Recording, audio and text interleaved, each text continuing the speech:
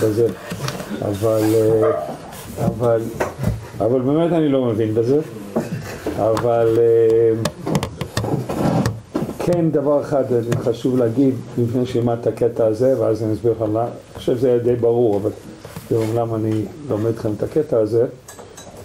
אה, מקובל להגדיר את השוני בין הרמק לבין הארי, זה דברים מאוד עמוקים ומאוד רחבים אה, בשיטות הקבלה שלהם, אבל מקובל אה, להצביע על אולי נקודה מרכזית, זה בצורת אה, בריאת העולם, השתלשלות העולם וכל מה שבא אחר כך. שבקבלת הרמק, אז הקדוש ברוך הוא ברא את העולם שהשתלשל בצורה מתוקנת ושלמה.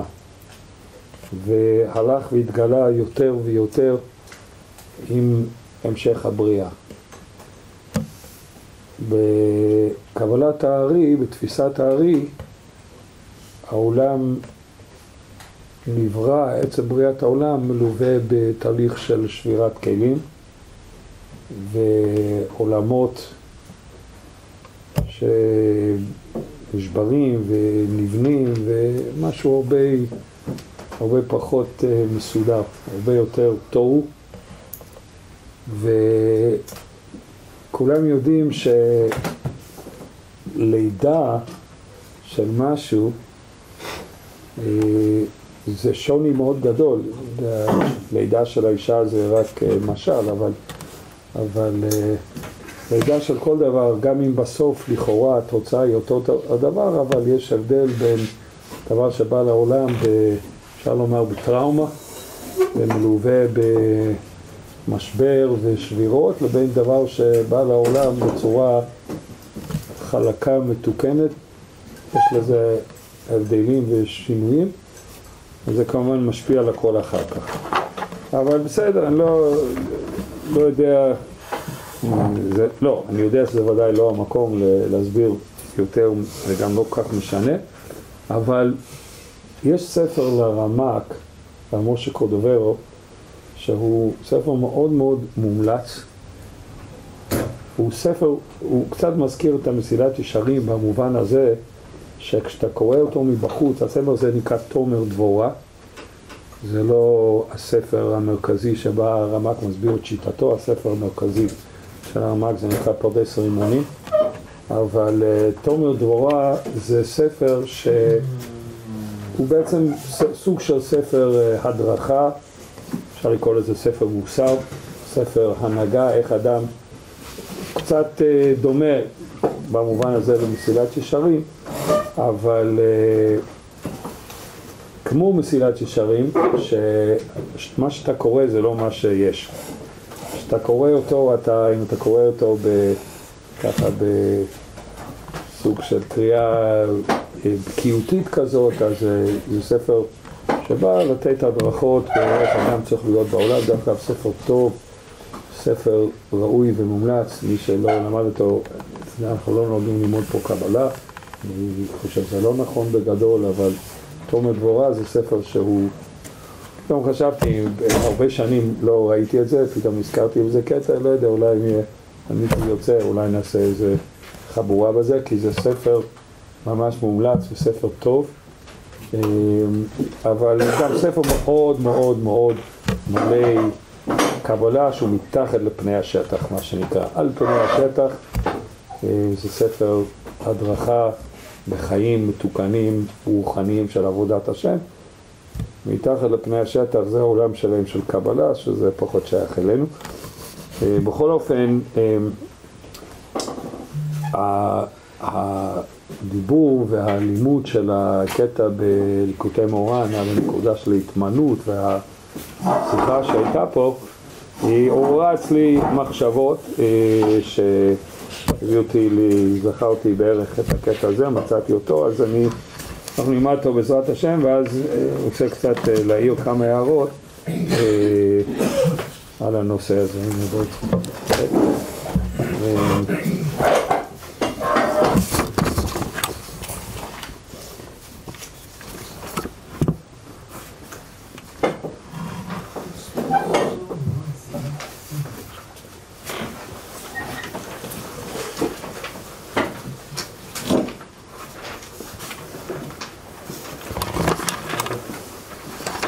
אז הדף מתחיל בצד שכתוב פרק ג'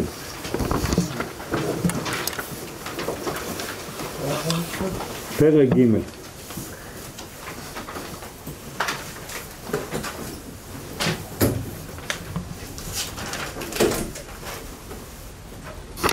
איפה שיש אה, קו, אה, קו רצוף כזה, קו שחור רצוף כזה.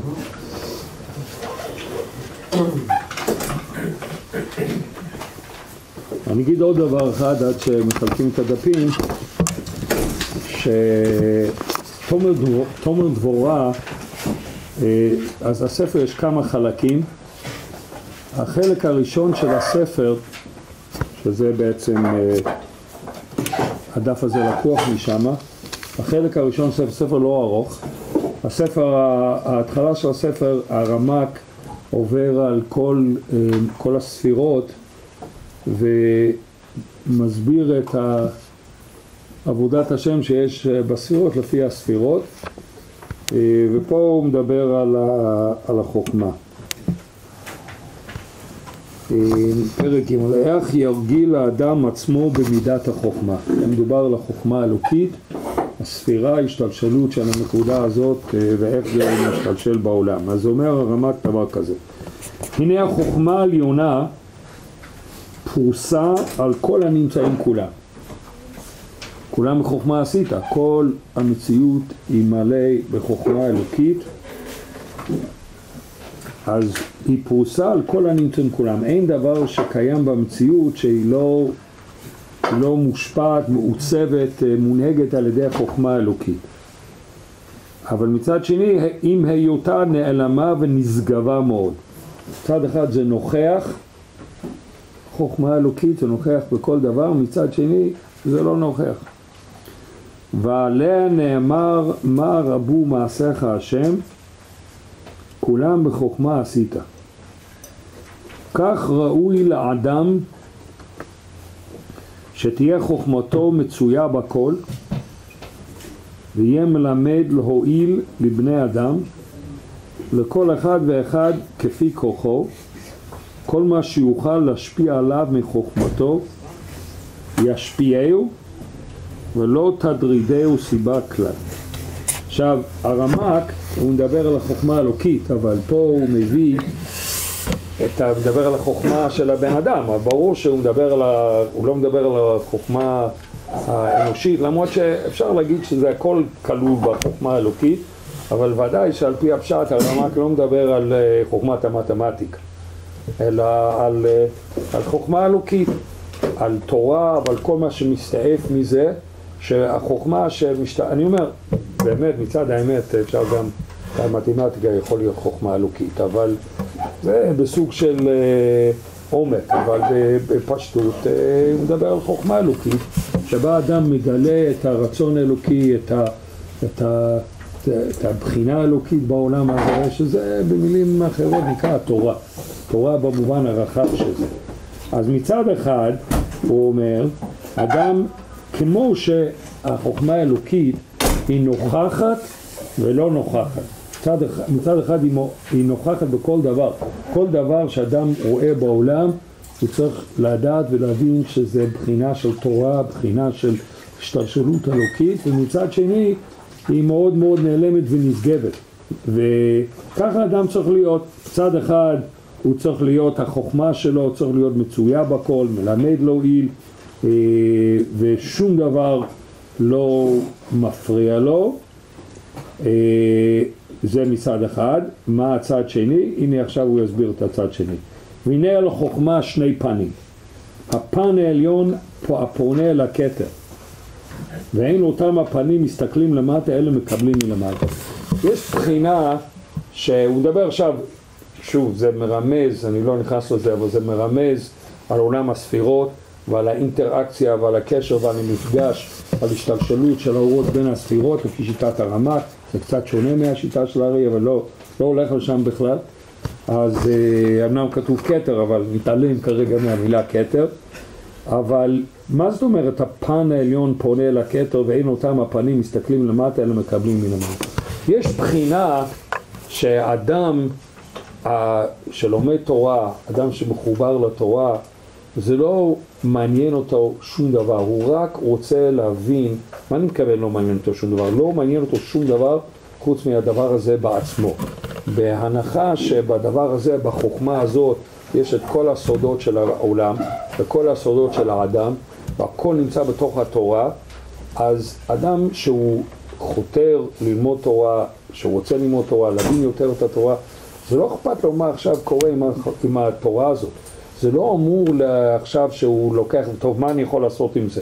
מה זה יועיל לי? מה, מה אני, איך אני אחיה את החיים שלי מחר? עזוב, אני רק רוצה להבין מה השורש של הדבר הזה. רוצה לעלות למעלה למעלה, אני רוצה להבין עוד רובד, עוד רובד של חוכמה אלוקית בתוך הדבר הזה. וזה סוג של אה, לימוד שאני לא שואל עכשיו אחר כך, אה, טוב, אבל איך זה קשור לעולם שלי? זהו, זה לא קשור לכלום, זה גילוי אלוקות ברמות הגבוהות ביותר. וכל השאיפה שלי זה לגלות עוד רובדים ועוד רובדים אה, בתוך הדבר הזה, כי אני מבין שה, שגם מה שאני פוגש, בין אם זה אה, פרק בגמרא, בין אם זה אה, דף בגמרא, בין אם זה פרק בתנ"ך, בין אם זה משנה, בין אם זה לקוטי מורן, זה לא משנה. מה שאתה פוגש, אתה מבין שהשור של זה מגיע מלמעלה למעלה מהעולמות הגבוהים ביותר, עד שזה משתלשל לחתיכת נייר הזה שלפניך, וכל מה שמעניין אותך, כל מה שאתה רוצה להבין את הדבר הזה. הצד הפונה לקטע קורא לזה הרמה. מאיפה זה בא, מאיפה זה יונק, אני רוצה עוד ועוד ולהבין. עכשיו זה לא משהו תיאורטי, זה גם שאדם לומד גמרא, לומד איזה סוגיה, אז כל מה שהוא רוצה לדעת להבין עוד ועוד, מה השור של זה, לא מה השור של זה בקבלה, איך זה קשור לספירת הכתר. אני מבין, זה בא מהשם, אני רוצה לדעת יותר ויותר, עמוק יותר ועמוק יותר, כדי להבין את מה שכתוב פה, כדי להבין איך הרצון של הקדוש ברוך הוא מתגלה בתוך הדבר הזה. זה הצד הפונה אל הכתר. שוב, אין לזה שום, שום למטה. לא מסתכלים על זה למטה. לא מחפשים איפה זה נפקא מינה בחיים שלי. איך אני יכול לעשות עם זה, אפילו איך אני לא, אפילו לא, לא אכפת לי איך אני יכול ללמוד, אה, להיות בן אדם יותר טוב מזה. אני יודע שזה אלוקות, זה כמובן עניין של אמונה, אני מאמין שיש פה השתלשלות אלוקית ואני רק רוצה להבין את, ה, את הדבר הזה ולקבל את האור שאני יודע שזה כלי של משהו שבא יותר ויותר גבוה, במובן הטהור ביותר, השלם ביותר. שאומר, ואין אותם הפנים מסתכלים, אתה מתכוון לפנים של הלומד? לא, זה כן ולא, זאת אומרת, הלומד שלומד את התורה הזאת, הוא לא אכפת על הצד של החוכמה שיש לזה השלכה לעולם. אז הפ... לא, הפנים של החוכמה לא מסתכלים למטה, מכיוון שגם הפנים של הלומד לא מסתכלים למעלה, למטה. אז זה כמו שיש לי איזה משהו ואני אכפת לי רק על פה, אני לא אכפת לי על פה.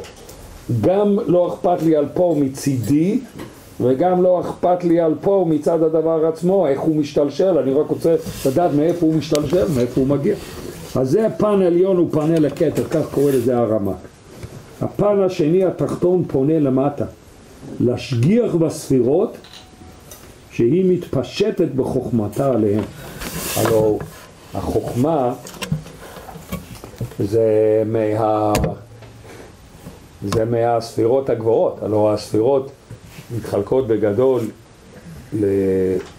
לספירות של הבניין, שבעיקר כשאנחנו מדברים מבחינה רוחנית על הספירות, אז אנחנו מדברים בעיקר מחסד עד מלכות, שבע ספירות הבניין, אבל זה רק שבע מתוך עשר, יש עוד שלוש למעלה, לפי רוב השיטות, כתר הוא לא אחד מעשר הספירות, אלא הוא משהו שהוא מעל, ולכן באמת שלושת הספירות של החב"ד, של החוכמה, בינה ודעת, זה באמת החוכמה במובן הזה הוא הספירה הכי גבוהה. וגם אם מכניסים את כתר לתוך הדבר הזה, זה נשאר חוכמה בינה, אז גם החוכמה הזו אחת מתחת לכתר. זאת אומרת, זה ספירות שבדרך כלל, גם כשאנחנו לא מדברים הרבה על הספירות, אבל גם קצת כשמדברים ומנסים להבין, אז לא מתעסקים עם הספירות האלו, כי זה ספירות שהן, אפשר, להגיד שהן מעל לעולם במידה מסוימת.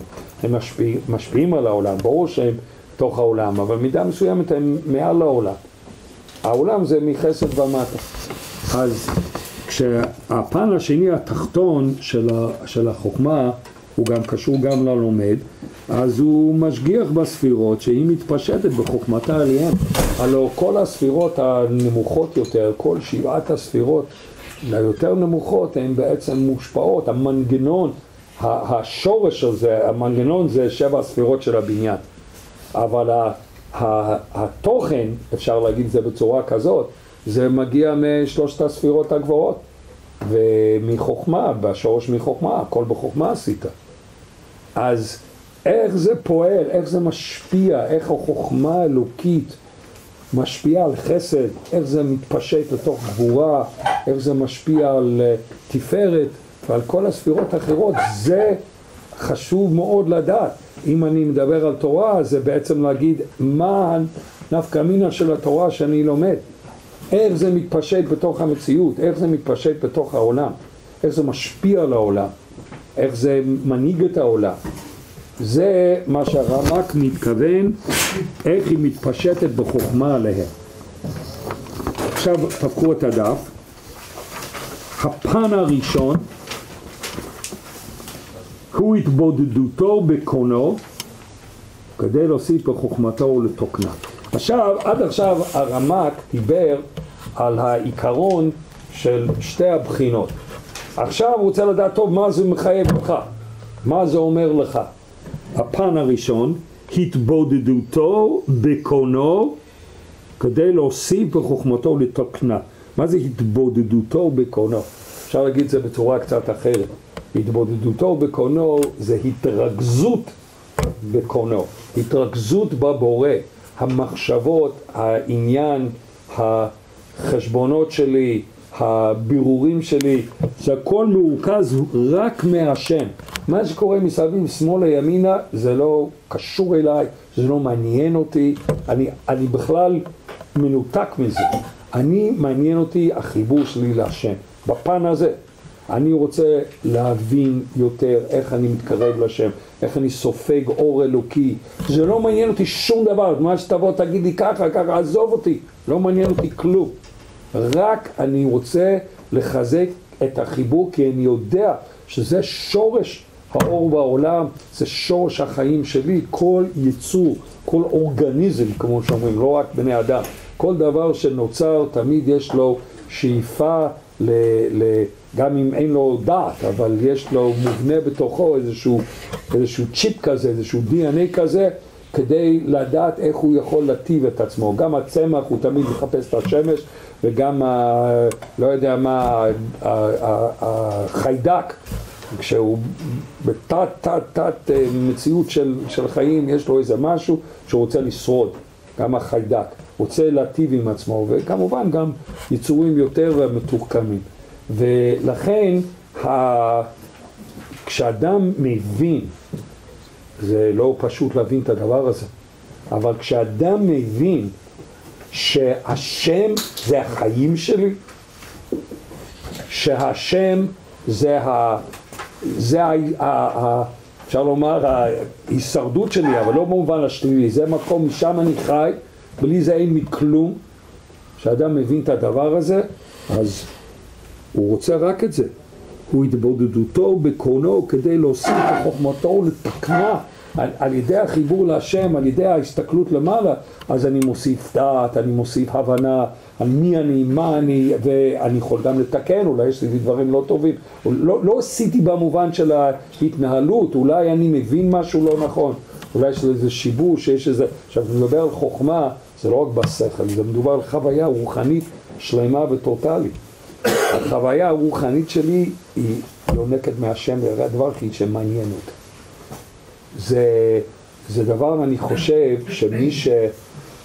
מי שהיה לו איזשהו, מניח שכל אחד היה לו איזה משהו כזה, אבל, אבל מי שהיה לו פעם חוויה מאוד מאוד חזקה, חוויה רוחנית חזקה, באיזשהו נקודה, הוא יכול להזדהות עם זה לגמרי. ברגע זה זה לא מעניין אותו כלום. כל אחד עם המקום שלו, עם הנקודה שלו, מתי שהיה לו פתאום איזו הערה עם א', פתאום איזו חוויה מאוד עוצמתית, חוויה רוחנית, חוויה דתית. זה לא מעניין אותו כלום ברגע הזה, אתה רוצה רק עוד, תביא לי עוד, עוד, אני רוצה עוד, להבין, להתחבר, פתאום אתה בהערה, פתאום אתה באור, זה לא מעניין אותך כלום. זה הפן אחד. אומר הרמק, אבל יש גם פן שני. והפן שני זה ללמד בני האדם מאותה חוכמה שהקדוש ברוך הוא השפיע עליו. הפן השני מאוד מעניין מה שקורה מסביב, ומאוד מעניין השלכות של החוכמה הזאת. ומה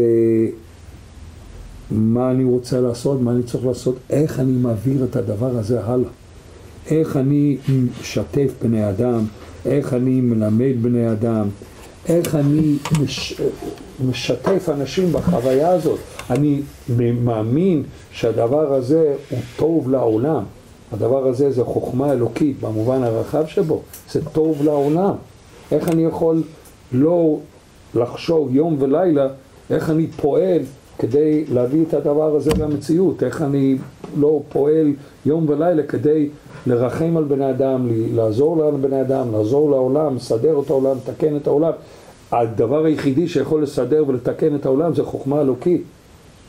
זה לא אומר ש, שהדבר היחידי שיכול לסדר את, את העולם זה שאתה מלמד אותם תורה וחס ושלום אל תלמד אותם מתמטיקה. לא, העולם הזה צריך גם מתמטיקה. אם כולם יעזבו את, ה, את הפקולטה להנדסה וכולם ישבו בכולל וילמדו קידושים, זה לא יהיה טוב לעולם. הפלא ופלא זה לא יהיה טוב לעולם. כי מי יבנה, מי יבנה את הגשר, מי יבנה את המנהרה, מי יעשה את הכביש. אז זה לא הכוונה. כשהרמק אומר שללמד בני אדם מאותה חוכמה שקדוש ברוך הוא השפיע עליו, זה בעצם להביא את כל העולם להכרה בהנהגה האלוקית כדבר שמגדיר ודבר שבונה את, ה, את הכל. גם המהנדס הוא פועל מההכרה, צריך לפעול מההכרה הזאת. הכל. זה מה שזה אומר, זה לאו דווקא ללמד אותו תורה, ללמד אותו עוד איזשהו, איזשהו תוספות, גם זה אולי, אבל בעיקר לשתף את הנקודה הזאת שהחוכמה האלוקית זה החוכמה שהעולם צריך ללכת איתו, בכל המובנים, מבחינה מוסרית, מבחינה התנהלותית, מבחינה הכל, הכל מהמקום הזה.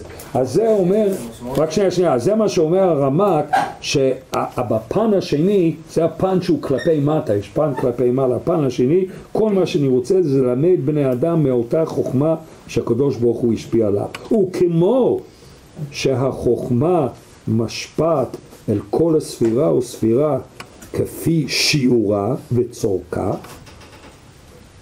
כך ישפיע, כן ישפיע בכל אדם כפי שיעור שכלו, אשר יוכל שאת, והנאות אליו המתאים לו וצורכו, וישמר מלתת יותר משיעור שכל המושפע, שלא תימשך ממנו תקלה, שכן הספירה העליונה אינה מוספת על השיעור המוגבל במקבל.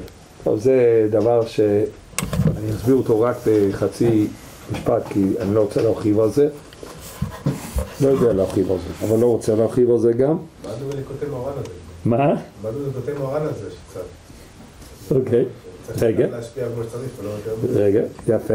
מה זאת אומרת הספיר, הספירה העליונה אינה מוספת על השיעור המוגבל במקבל? כשאתה מקבל אור גדול, הכוח שלך הוא לא נמדד בכוח של האור שאתה מקבל, הוא נמדד בכוח של הכלי. אתה יכול להיות חשוף לאור עצום, אבל אם יש לך כלי בגודל מסוים, כל מה שאתה יכול לקבל, כל מה שאתה יכול להעביר הלאה, זה לפי גודל הכלי שלך.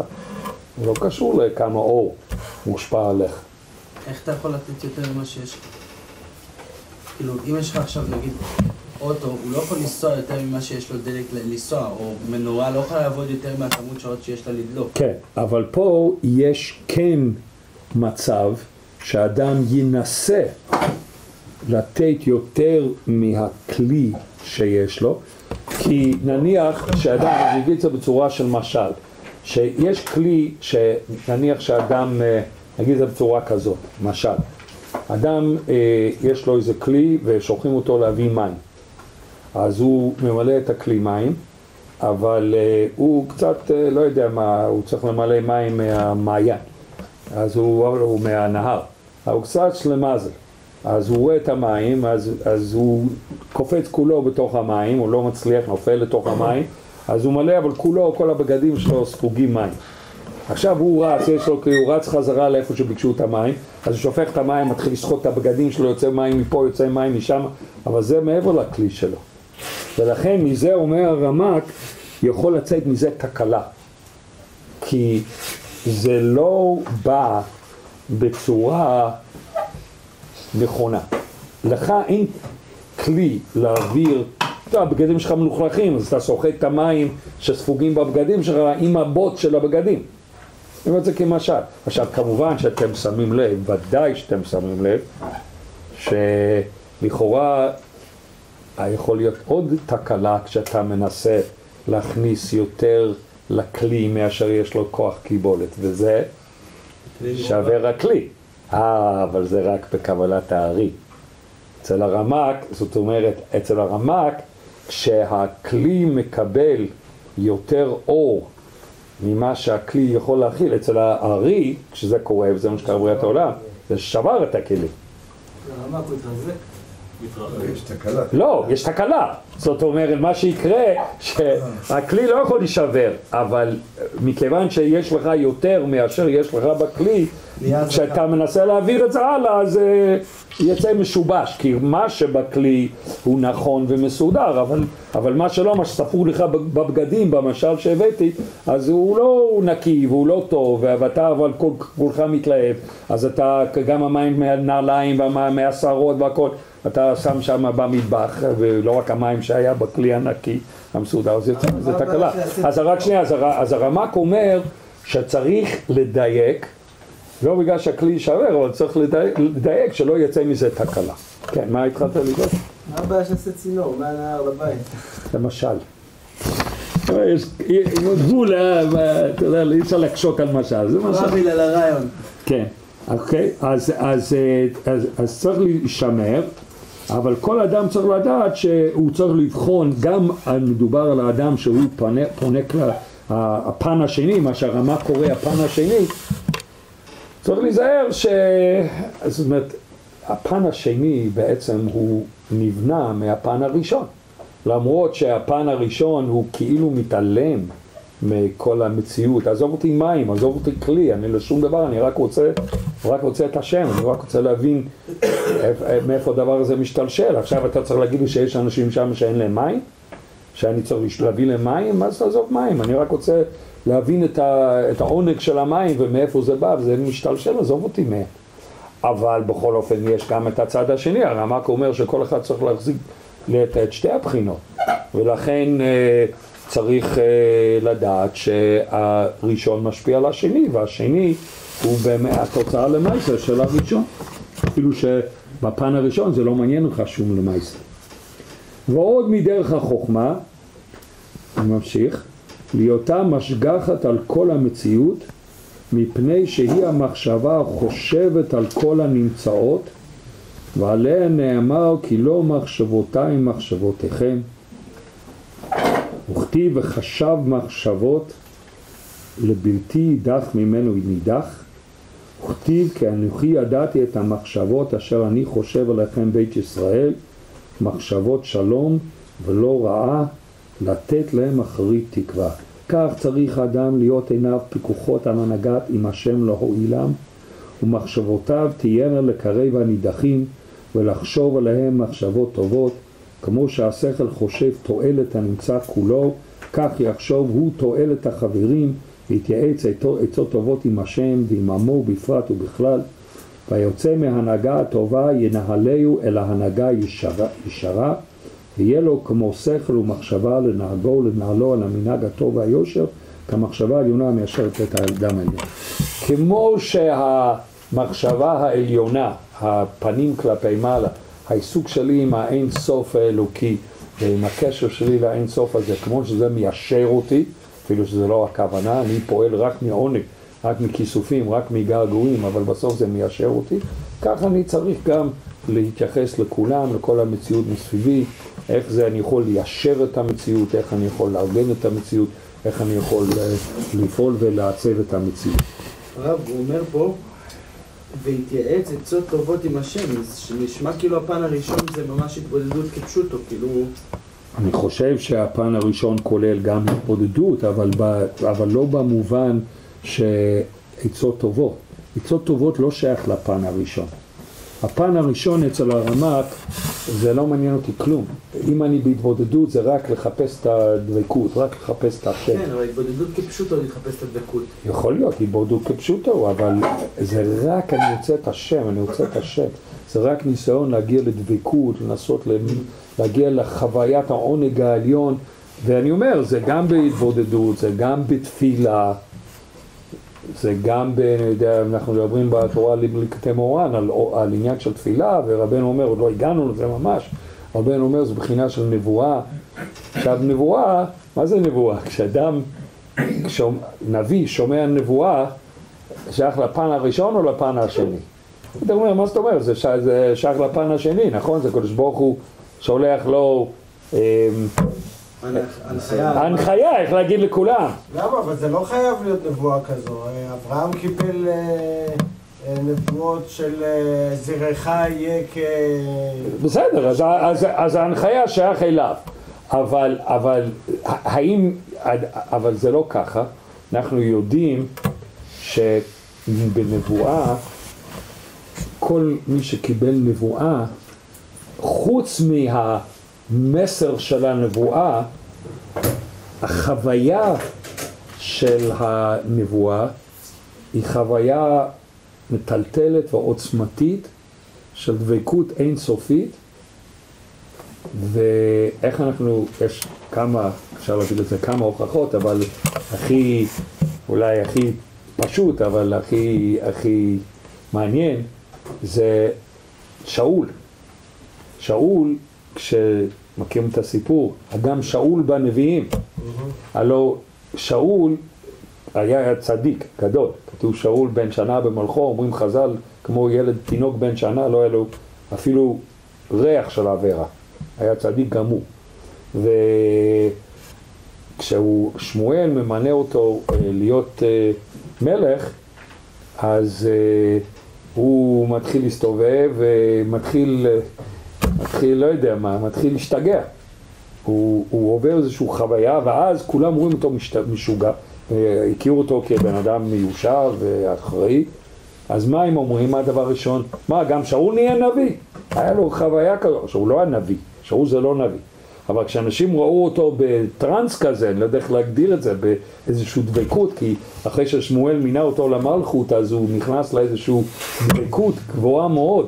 אז, ו, וכולם ראו את זה, אני לא יודע איך זה היה נראה, אבל אני יכול לדמיין, שכמו בן אדם באיזשהו trip כזה, באיזשהו טראנס כזה, אתה יודע, ככה וזה, אתה יודע, כל אחד הדמיון, כל אחד לפי הדמיון ולפי הניסיון שלו, אבל, אה, אבל שלא נדע השם ירחם, אבל, אה, אבל, וכולם, התגובה של אנשים, אמרו מה, גם שאול נהיה נביא, כי נביא חוץ מהמסר שאחר כך קיבל, כשהוא פוגש את השם, זה גם דבר שהוא, אנחנו, קשה לנו אפילו להבין מה זה.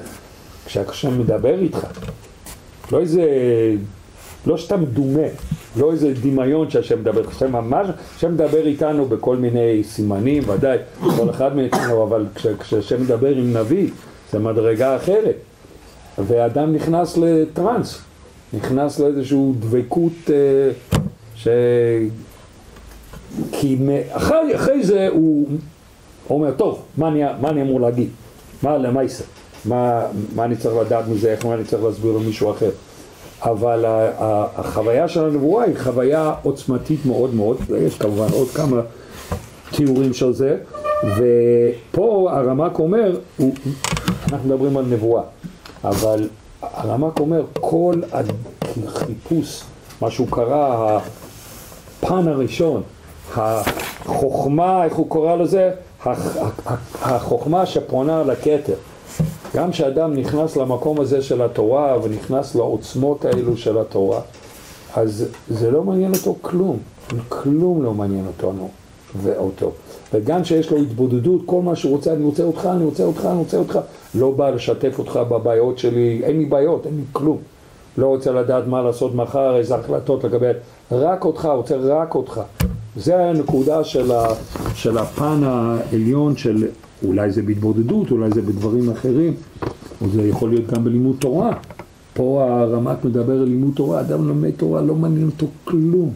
רק רוצה להבין את עומק הכתוב פה, רוצה להבין פה את עומק הסוגיה, למה? כי הוא יודע זה אלוקות.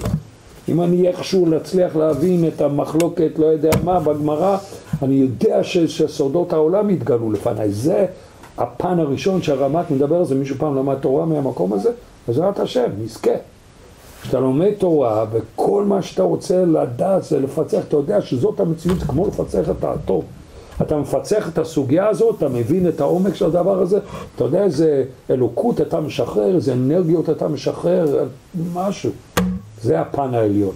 זה פונה לכתר. זה החוכמה שפונה לכתר. ואחרי זה יש גם את הצד שני. ועוד החוכמה תחיה הכל, כדכתיב החוכמה תחיה בעליה. כך יהיה הוא מורה חיים לכל העולם וגורם להם חיי עולם הזה וחיי עולם הבא וממציא להם חיים, זה הכלל יהיה קובע חיים לכל. החוכמה תחיה, כל מה שתיארתי על המהלך הראשון זה החוכמה תחיה. החוכמה תחיה, התורה תחיה, השם מחיה, זה החיים. מי שקרוב לתורה קרוב לחיים, מי שקרוב לשם הוא נוגע בחיים. מי שרחוק אז הוא כלום, הוא מת. מי שרחוק מהתורה הוא מת, אין לו כלום, הוא כמו איזה, כמו איזה דמות חלולה כזאת. זה פן אחד. אבל יש גם את הפן השני, והפן השני זה שזה לא רק נותן לי חיים, זה נותן לכל העולם חיים, נותן לכל המציאות חיים. ועוד, עוד איזה משהו שמוסיף הרמה, עוד החוכמה אב לכל הנמצאות. כל מה שכתוב, כל מה שיש בעולם, כדכתיב מה רבו מעשיך השם כולם בחוכמה עשית והם חיים ומתקיימים משם הכל, הכל יונק מהמקום הזה כך יהיה הוא אב אותו אחד לכל יצוריו של הקדוש ברוך הוא ולישראל זה לא, האחריות שלי לעולם הוא לא נגמר בישראל, גם ישראל. תראה מה הוא אומר, אומר רמק לכל יצוריו של הקדוש ברוך הוא לא רק אפילו בני אדם וגם לבני אדם. ועיקר שהם הנשמות, כמובן, ישראל הם עיקר הנשמות הקדושות, האצולות משם, ויבקש תמיד רחמים וברכה לעולם, בדרך שהאב האב העליון רחמן על ברואיו, ויהיה תמיד מתפלל בצרת המצרים, כאילו היו בניו ממש, כאילו הוא יצרה, שזה רצונו של הקדוש ברוך הוא, כדרך שאמר הרואה נאמן מה שדיברנו על זה היום ממש, לא זה בדיוק בפרשה של הדד ומידד, אנוכי הריתי את כל העם הזה, כי תאמר אליי שאהו בחיקך, ובזה... כן, זה הפוך. יפה מאוד. זאת אומרת, משה רבינו מתלונן. הוא אומר, מה זאת אומרת, אני הריתי את העם הזה? מה אומר רמק? לא, תוריד את הסימן שאלה. כן, זה כמו, אתם יודעים שזה הזכיר לי תמיד את ה... אה, יש, היה תנועה כשהיה את כל היהודים ברוסיה והמסך הברזל, אז היה תנועה בארץ שקראו לזה שומר אחי אנוכי. אה, בטח לא שמעתם כי זה כבר סיפור של לפני 30 שנה. ככה קראו לזה, שומר אחי אנוכי. כל הזמן היו הפגנות ופעילויות כאלו ואחרות. יש טישרטים כאלה. נשאר אולי מזה טישרט, אני זוכר שזה גם היה תנועה, לא הטישרט. אבל, אבל תמיד זה הצחיק אותי, כי הלוא בתורה המשפט הזה הוא עם סימן שאלה בסוף. השומר אנוכי אנוכי, זה הלוא מה שקין אמר לקדוש ברוך הוא, איפה האבן? אז, התנועה הזאת, אז פעם, תפסתי מישהו, לא יודע, היינו באיזה הפגנה, לא זוכר כבר, אז, אז תפסתי מישהו, אחד המארגנים, אמרתי, אתה יודע, אני לא מבין, זה נקרא תנועת השומר הכי אנוכי, מטה השומר הכי אנוכי. אמרתי, אתה יודע, בתורה זה עם סימן שאלה. מה נכון, אבל זה אנחנו, אנחנו ההמתקה של זה, אנחנו תיקון של זה. הלוא אצל קין, ועוד התפעלתי מהתשובה, כי הלוא אצל קין, הוא אמר, אני שומר הכי אנוכי, מה קשור אליי? כן, התשובה היא כן. אז אתה צריך להוריד את הסימן שאלה ולשים על זה סימן קריאה. ככה זה גם בפסוק הזה, ככה רמק, מפרש את הדיבור של משה. משה אמר, אנוכי הריתי את העם הזה? מה אומר הרמ"ק? היה משה רבנו צריך איזו המתקה. מה התשובה? כן. תשובה כן, כך אומר הרמ"ק, כן. הפסוק הזה הוא אמנם נאמר על ידי משה בשעת ריתחה, כשכבר לא יכול לסבול את זה, אבל התשובה היא כן. אתה כמו האבא של העולם, כל אחד ואחד. וכמו שהאבא של העולם הוא צריך להתפלל בצרת המצרים כאילו היו בניו ממש, כאילו יצרם, שזה רצונו של הקדוש ברוך הוא, כדרך שאמר רואה הנאמן, אנוכי הריתי את כל העם הזה כי תאמר אליי שאו בחלקך ובזה יישא את כל עם השם כאשר יישא האומן את היונק בזרועו יקבץ טלאים, כבשים ובחיקו יישא עלות ינהל הנגחכות יפקוד הנר יבקש הנשבר את ירפא. זה לשון של הרמק מאוד uh, ספרותי.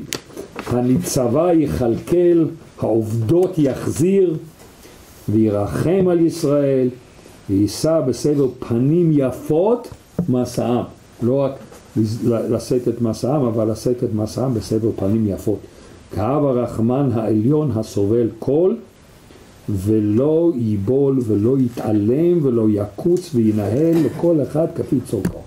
אלו הן מידות החוכמה, אב רחמן על בנים. מה עושים עם הכבישים? עם מה? הכבישים. זה לא השאלה, השאלה היא לא רק קידושים. השאלה, מה שבעצם ה... הרמ"ק אומר פה, זה לא, אני לא אומר עכשיו מה לעשות, אבל זה גישה. זה הסתכלות על המציאות, על המציאות הרוחנית שלי. אני, יש לי שני צדדים, אני כל אחד, יש לי שני צדדים.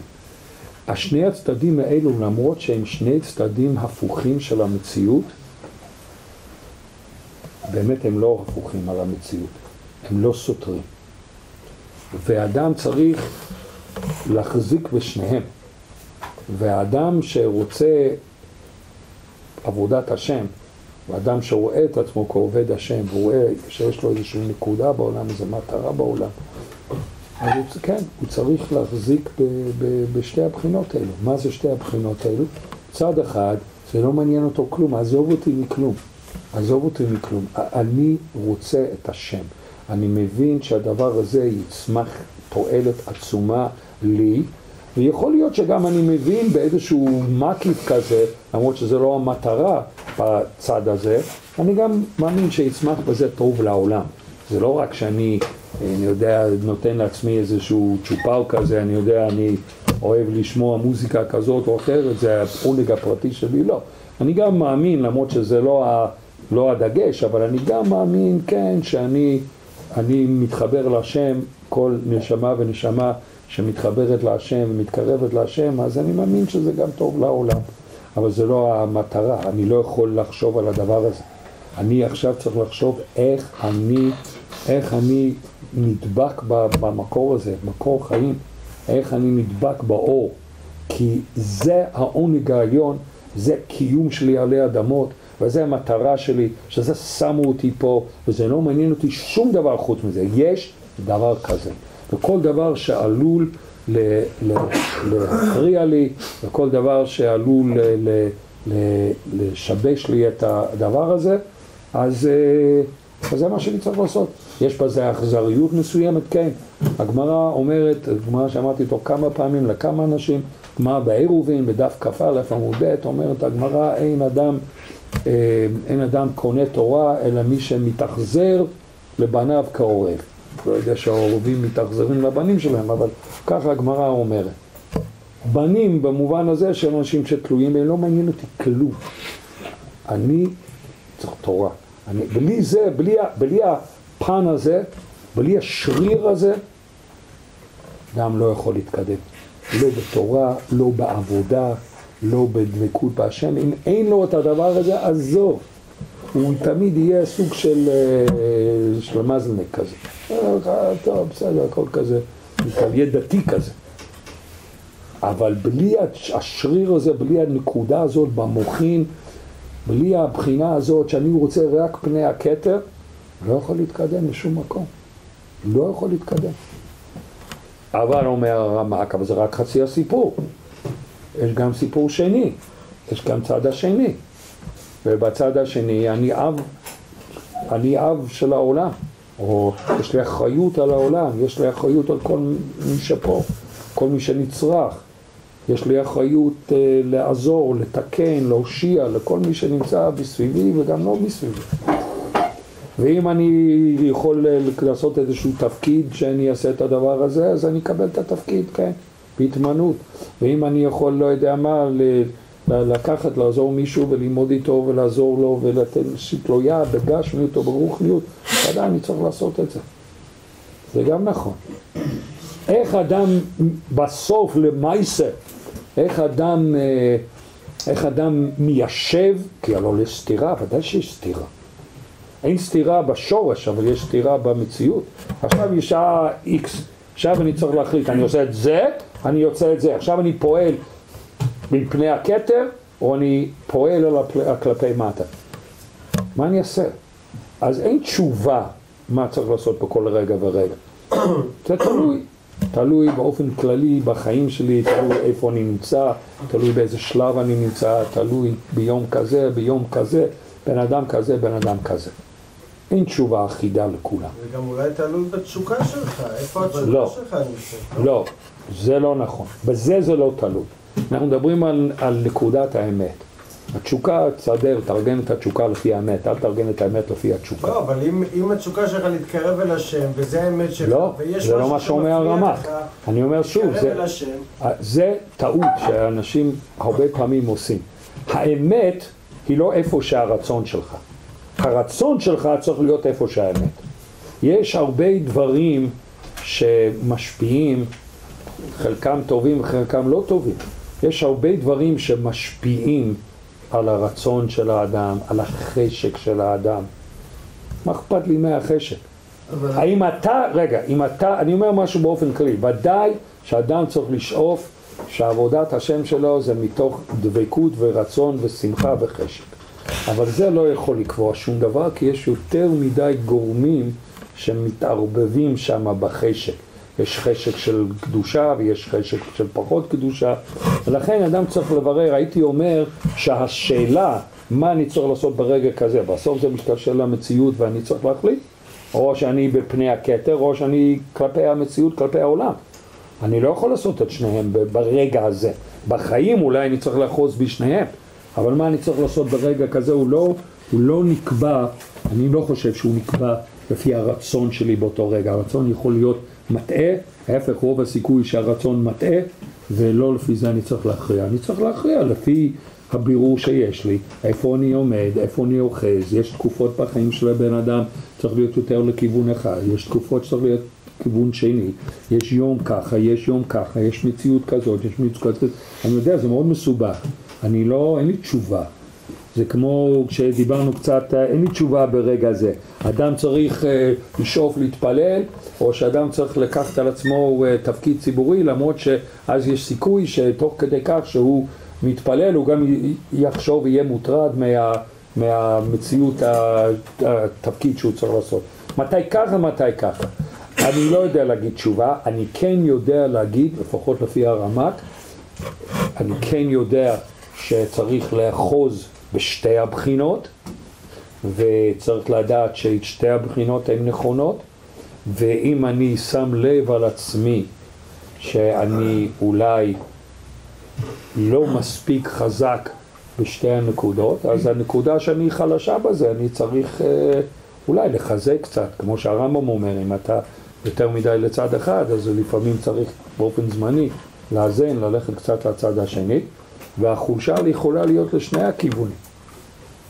לפעמים אדם, אני לא יודע אפילו אם זה חולשה, זה לפעמים אדם חזק מאוד ב, ב, בפני הכתר, כמו שהרמ"א קורא לזה, ופחות חזק ב, כלפי המציאות, כלפי העולם, כלפי הסביבה, ולפעמים הפוך. אז אדם צריך לבחון את עצמו, צריך לראות איפה הוא נמצא, צריך לראות איך הוא מאזן, צריך להיות אתמול, צריך להיות היום, יש בזה הרבה חוכמה והרבה מחשבה, בוודאי שלא תמיד קל לעשות את החשבון הזה, וצריך לפעמים לקחת עצה ולקבל חיזוק ממישהו אחר, או ההתבודדות, או להתפלל על זה, זה תמיד עצה טובה. אבל ודאי שהאדם צריך לאחוז בשתי, בשתי הדברים אם הוא רוצה להתקדם ולהיות עובד השם. הוא לא יכול לוותר על פן אחד, לא יכול לוותר על צד אחד.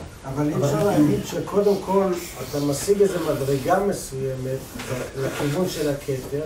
אחרי שהשגת את המדרגה הזאת, אולי אתה יכול להשפיע משהו לאחרים, כי סוף סוף יש לך מה להשפיע. כי לפני זה אולי יהיה לך מה להשפיע. כן, יש צד שזה נכון, אבל יש צד שאני לא יודע מה זה אחרי זה. המושג של אחרי זה הוא מושג אינסופי, אחרי זה, אחרי זה בגלגול הבא, לא, בגלל אחרי זה אני בשנה אומר הבאה. שזה התשוקה שלך. אם אתה מרגיש שיש לך מה להשפיע, סוף סוף תלך ותשפיע. בסדר, אז אולי, אולי, אולי, יש לך אבל מה להשפיע. אולי זה מדד אחד, אבל אני לא בטוח שזה המדד היחידי. כי הלו הרמ"ט מדבר על מציאות שהבן אדם תמיד, איפה שהוא נמצא, תמיד יש משהו שהוא יכול להשפיע, לרחם, לעזור, לחזק, גם אם הוא ברמה התחלתי, התחלתית.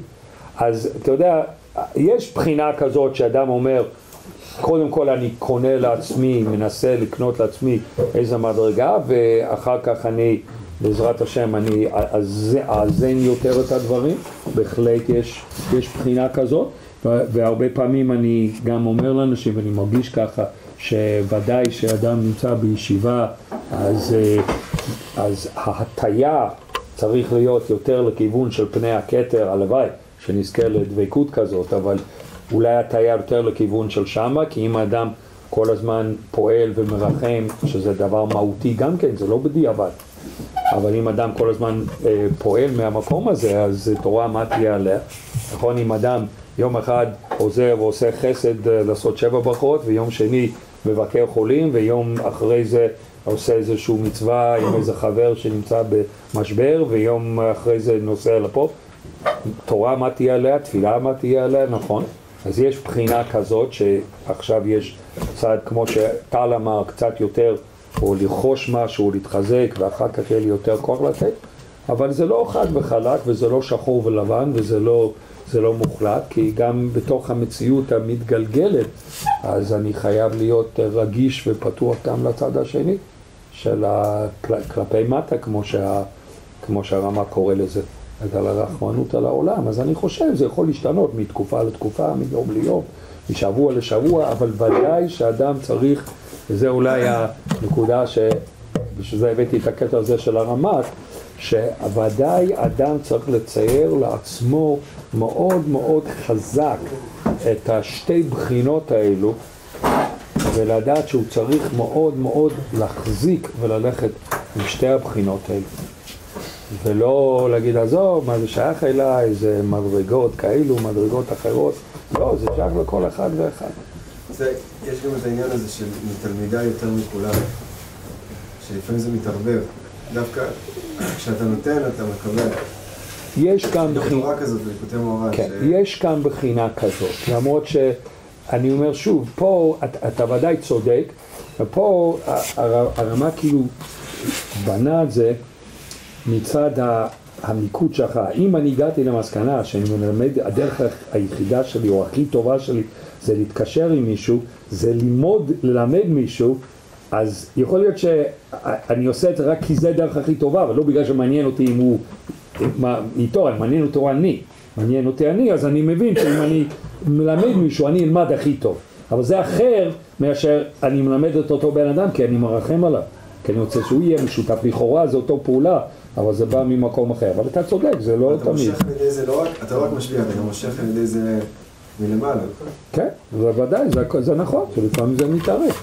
זה, זה, לא, זה לא חד וחלק, זה לא כמו שאמרתי שחור לבן, או כך או כך. צריך לדעת ששתי הנקודות האלו הן מהותיות. צריך לאדם, כל אחד צריך לחזק בנקודה שהוא מרגיש שצריך להתחזק בזה, ולאזן, אם יש לו נטייה טבעית או לא טבעית לכיוון מסוים, אז הוא צריך לאזן, אז שיאזן, ובאופן כללי ינסה לפעול ב... בשתי, ה- לאחוז בשתי המובנים האלו, וזה, למה, למה נזכרתי בזה? כי אני אומר, בדיון שבאופן כללי יש בזה נקודות אמת, ולא גמרת, גמרנו עם התורה הזאת, יש לנו עוד כמה חודשים טובים ללכת בתוך התורה הזאת, אבל הבחינה הזאת של, אה, של אה, האם אדם אתה יודע, צריך לקחת על עצמו תפקיד ציבורי ולדאוג ולעזור, או שהוא צריך להגיד, עזוב, אני רוצה רק תפילה. עכשיו נגיד רק דבר נוסף, שאני יודע שאני פותח בזה עניין שלם, שאני לא רוצה להרחיב בזה, אבל אולי בהזדמנות, אני רק אני אזרוק את זה. אני חושב שיכול להיות שהחשבון הזה יכול להיות שונה בגלות ובארץ ישראל. ודרך אגב, גם הרמ"ק מרמז דברים כאלו בהמשך. יכול להיות שיש הבדל, יכול להיות שבגלות, בגלות, אז יש יותר בחינה ל, ל, לצד של פני הכתר, ובארץ ישראל, בגלל הבחינה של, של כל ישראל ואחדות ישראל והכלל, הלוא אין, מבחינה הלכתית אין מושג של כלל בגלות, יש רק בארץ ישראל כלל. כל מיני דברים יש לזה נפקא מינה. יכול להיות שזה בארץ ישראל זה קצת שונה מאשר בגלות, אז אני רק אני זורק את זה, לא פותח את זה, ויכול להיות שעוד חשבונות אחרים. בסדר, בעזרת השם, שנזכה לחזק את הדברים האלו. אני אוסיף רק אה, ככה שתי הודעות קצרות, שלוש הודעות קצרות, אף אחד מהם הוא לא הפתעה.